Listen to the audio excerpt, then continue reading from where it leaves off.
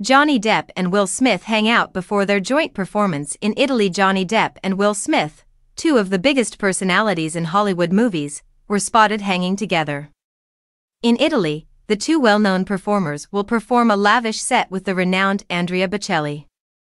They were joined in the photo that went viral on social media by Ahmed Saad, another incredible musician. Even while we have always appreciated Will Smith and Johnny Depp's acting prowess, they also possess another unique ability. Both celebrities are excellent musicians. Additionally, they have been scheduled to play at Andrea Bocelli's three day extravaganza.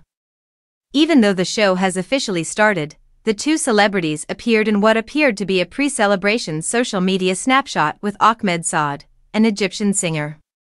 Saad, who posted a photo of himself with the two well known actors, was seen grinning broadly.